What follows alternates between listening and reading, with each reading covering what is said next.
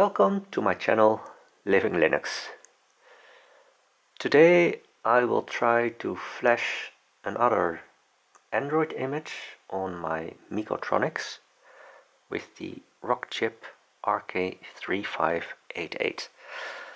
So when you send an email to sales at mekotronics.com they can supply you with new images and also the Rockchip upgrade tool. So first you have to install the driver. That's not really that hard. Just uh, start it and then install driver. Well, I already installed it so I don't need to do it again.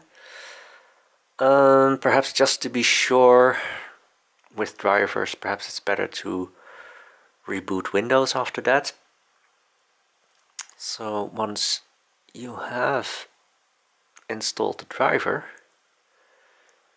you can start the tool and well when you're not Chinese um, then probably it's better to change the config.ini file there are two language files. The first one is Chinese, second one is English. So when you prefer English, then you probably better change this into 2, the selected, change it to 2.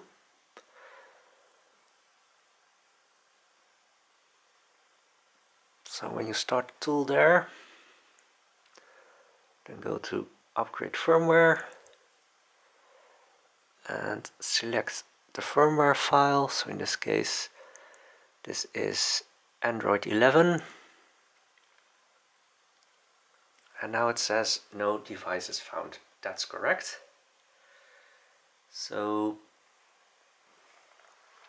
what we have to do is here we have the Mekotronics box.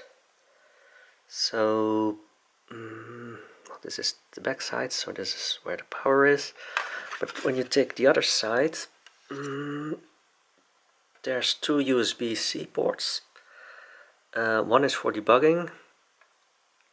You don't need to use that one so you need to choose the type-C port next to the regular USB 2.0 port. So that's what we'll do. We'll connect it. And we need to connect power I put the power mm.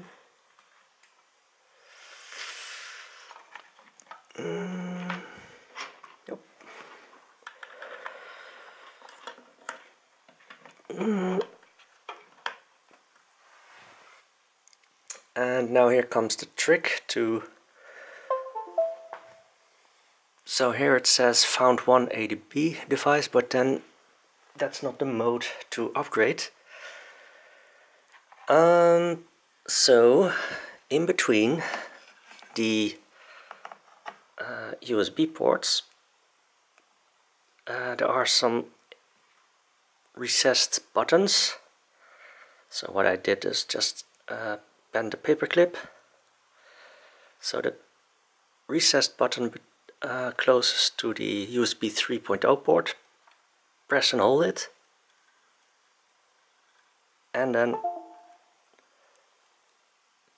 press the other button uh, in between the 2.0 ports.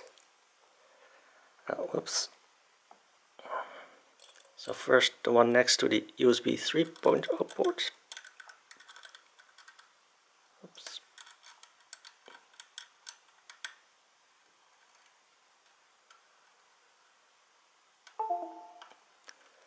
And then press the other one just one time, hold the other one still.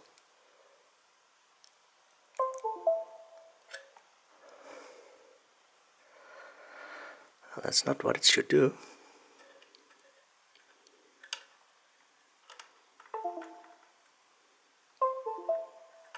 That's what we like to see.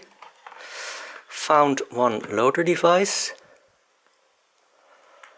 and that's when you can do the upgrade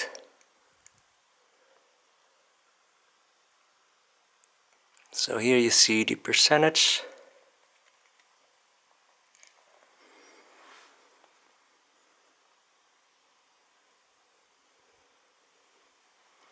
And it goes quite quick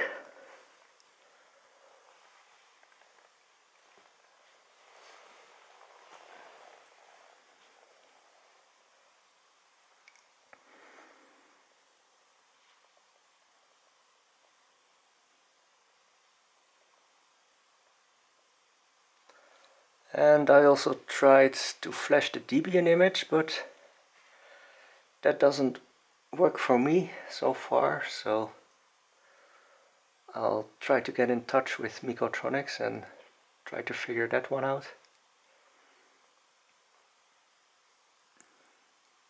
But first we'll test the Android 11 image because the Play Store should work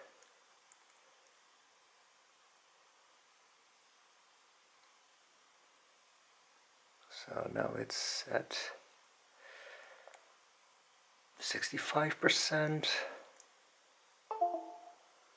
and after that it jumps to 100 well I don't mind that. So we can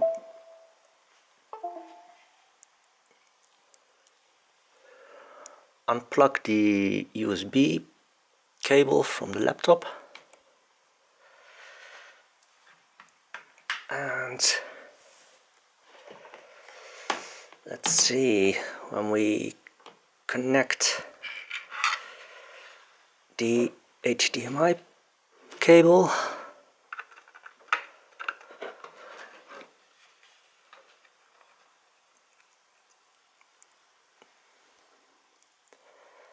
and here you see that Android has been installed so I'm going to connect my PlayStation controller.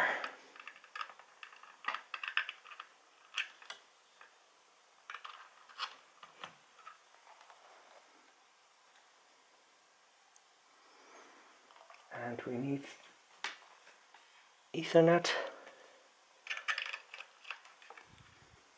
or Wi-Fi but in my case I just connect through Ethernet so here you see that Ethernet is connected.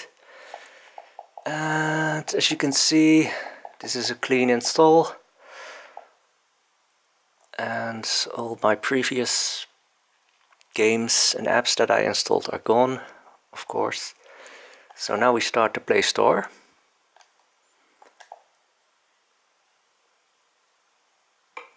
And it will try to log in so I'm not gonna show you my password so this is just the video to show you how to flash a different Android image. Um, it does support over-the-air support uh, sorry over-the-air updates.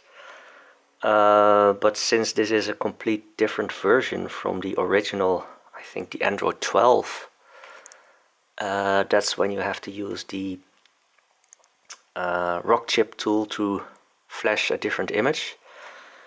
Uh, so, but after this, um, you should be able to get the over-the-air updates for this Android version.